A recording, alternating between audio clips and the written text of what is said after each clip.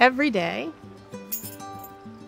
when I get up, I go to the window and I don't look at the clock, I don't look at my phone.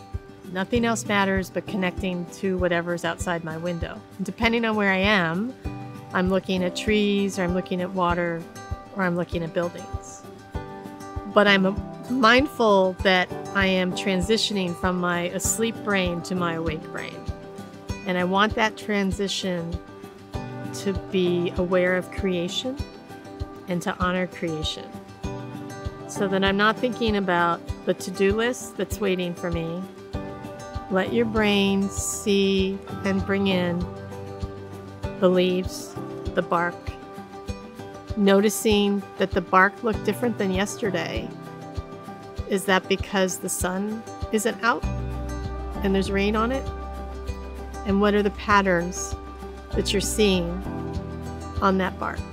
I'm not letting my brain go anywhere else.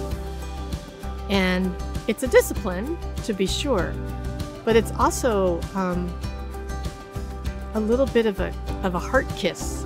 This is good for your heart to ponder what is different when I'm looking at this tree today, this window, the light shining off of it, or the drops of rain on it.